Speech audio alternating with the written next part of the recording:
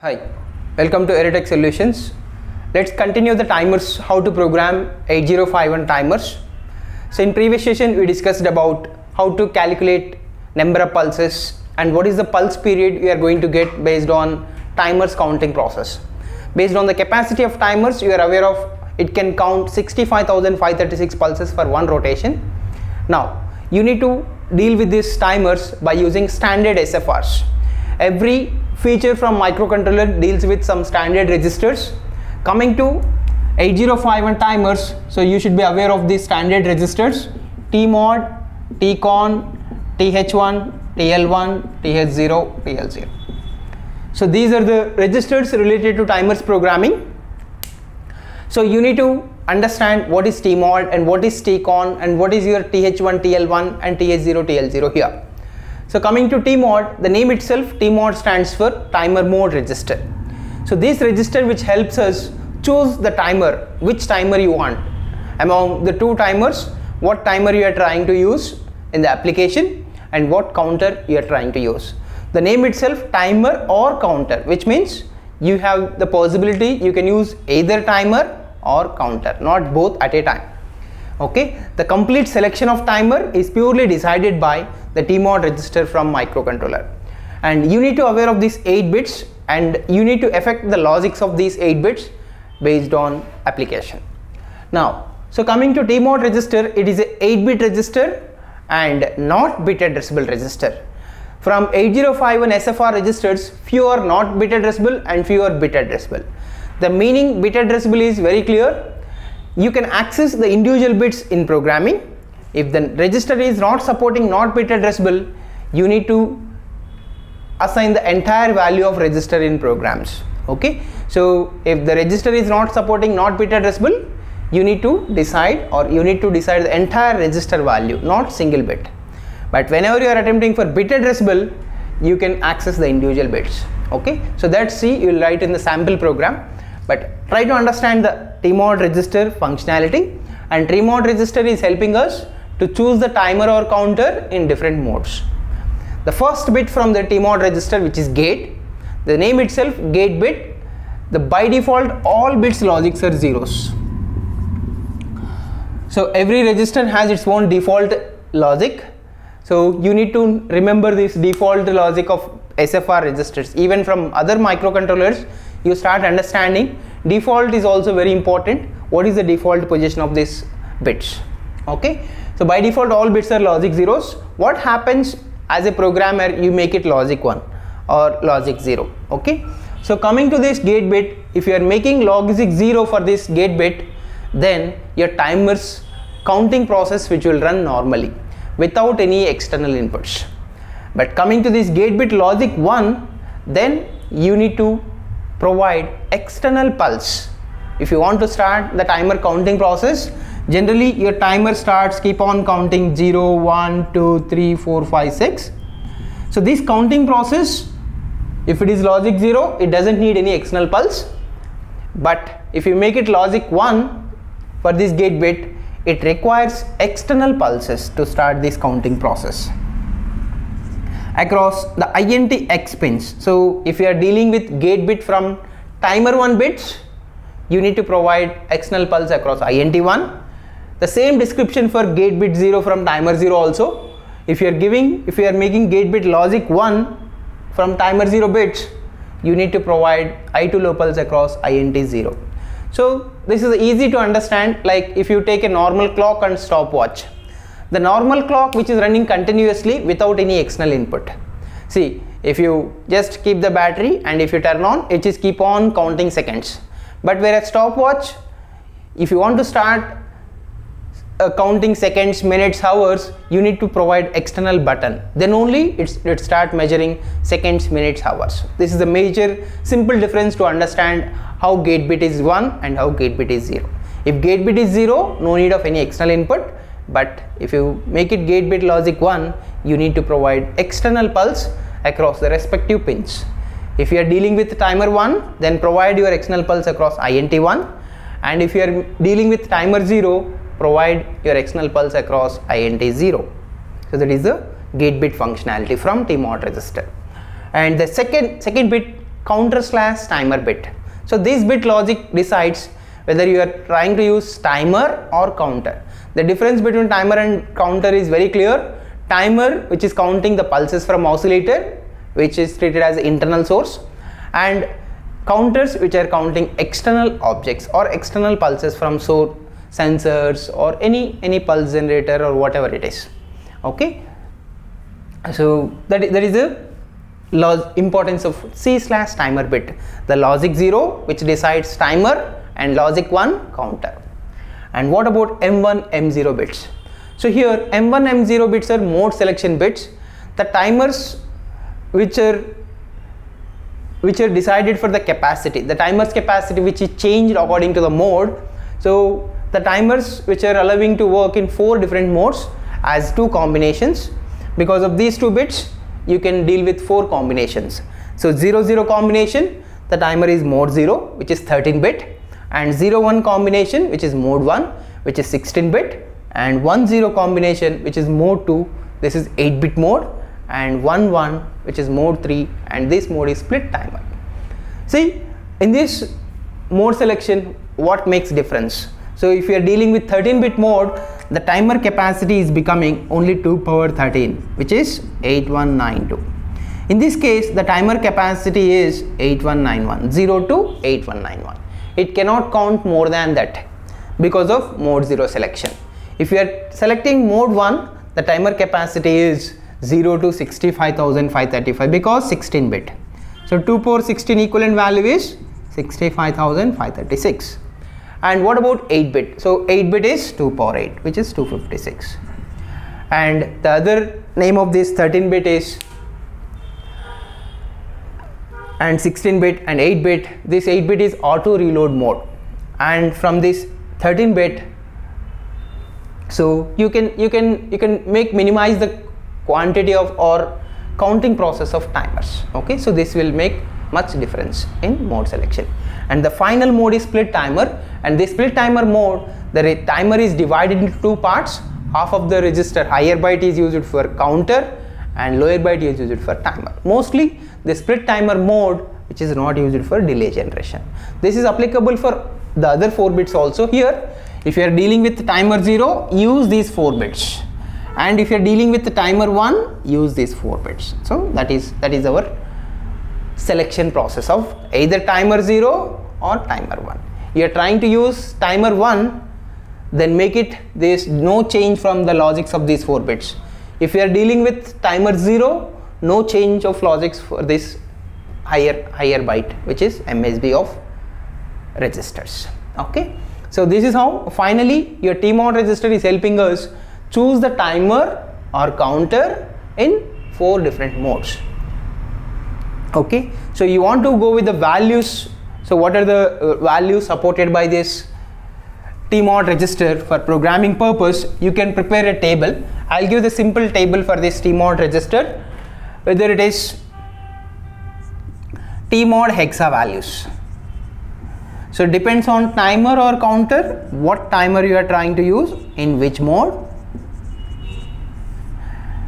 And mode 1 what is the value of t mod and mode 2 in for timer 0 what is the value of t mod and mode 3 what is the value of timer 0 and coming to counter what is the value of t mod register? And timer 1 suppose and counter 1 so this register values which may help you the final hexadecimal value decides which timer or which counter you are using for programming okay?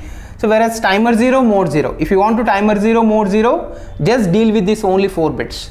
So keep it logic zeros for MSB part and mode 0 means what the mode you are expecting for gate. So maybe gate bit logic is 0 by default because most of the cases the timers are used for delay generation and delay generation not required any external pulse. So I'll make it gate bit logic 0 and you are looking for timer or counter. So timer. Timer means logic 0 and mode 0 means these two bits are zeros. Finally the hexadecimal value of this register is 00h and what about mode 1 so timer 0 mode 1 so mode 1 means so this bit logic is going to change. And according to this the value is 0 1 h. And mode 2 means 1 0 this is 0 2 h. And mode 3 means 1 1 0 3 h. What about counter 0 so counter 0 again you need to deal with these 4 bits. If you are looking for counter change your counter slash timer bit logic as 1 and other two bits are zeros so this is 0 4 h. And for counter 0 mode 1 this will become 0 1 this is 0 5 h. And for mode 2 this is 1 0 and 0 6 h.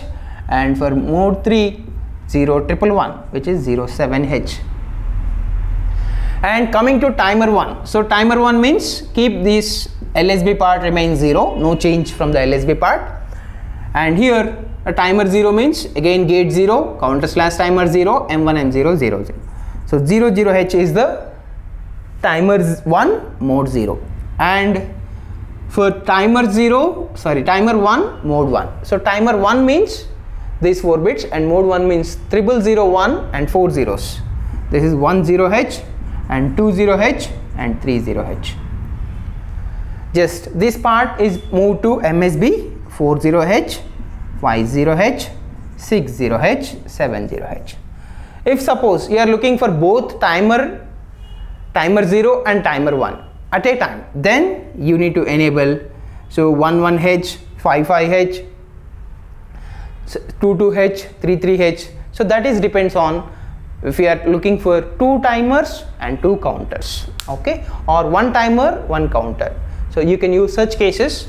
Depends on the value of tmod register you are deciding which timer which counter selected for programming. So finally tmod register is helping us for only selection. Now what about control? So the second register from sfrs which is tcon and tcon register is helping us control the timers. So again your tcon register is a bit addressable register. The difference between tmod and tcon is here tcon is bit addressable and tmod is not bit addressable. Out of 8 bits from tcon register the lsb part which is dedicated for interrupts and msb part is used for timers so here the timers which are dealing with only 4 MSB bits and 4 LSB bits are used for interrupts. So here coming to TF1, TR1, TF0, TR0, TF1 means timer 1 flag bit. So the default logics again for this TCON registered bits are zeros. What happens if you are making logic 1 and what happens if you keep logic 0 okay out of these 8 bits the first bit is TF1 which means timer 1 flag bit and this is not affected by our programming. So based on the timers counting process your TF1 bit logic is going to affect. So which means whenever timer reaches the maximum value. So maximum value means according to the mode the maximum value which is changing. So if you are dealing with mode 0 maximum value is 8191 and if you are dealing mode 1 65535 mode 2 255 mode 3 which is not used for delays. So this maximum value which will reach by the timer the tf1 logic becoming 1 so suppose whatever the initial value you, me you measured in the program but whenever timer reaches maximum value and it overrides from maximum value to 0 in that case your flag bit is becoming 1 this is the only flag bit for us. You can monitor or you can check the timer is rotating how many times. Whether it is rotating one time or two times or three times. Just by noticing this, this flag bit logic you can understood that your timer is running two times one time or three times. Okay this is the only option in programming. So you need to deal with this flag bit compulsory based on number of rotations or based on how many pulses you are looking to count by using timer.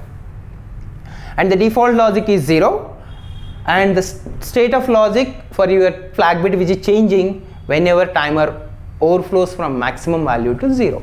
Suppose if still the timer is not reaching maximum value the logic remains 0. So that is the importance of flag bit from TCON register and the second bit TR1 which is timer 1 control bit timer 1 start or stop.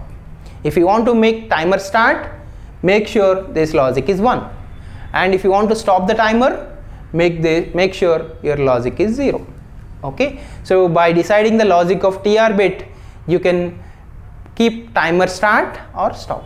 Okay? The same description for other two bits tf0 and tr0 so tf0 which is timer 0 flag bit if you are dealing with timer 0 then work with these two bits tf0 and tr0 if you are dealing with timer 1 deal with tf1 and tr1 so tf0 bit for dedicatedly for timer 0 and this is 0 default and when it is becoming 1 whenever timer 0 overwrites from maximum value to 0 in that case your tf0 becomes 1 and tr0 bit for start timer 0 or stop timer 0 keep logic 0 timer 0 stop and keep logic 1 timer 0 start. So these the the two independent registers you need to know if you are trying to program timers. And what are the steps you need to follow to generate a time delay by using timers? Okay so you will see the simple steps. What are the timers related things? Like first step is step 1 select the timer by using tmod register. So tmod register value finally decides what timer you are trying to use in programming.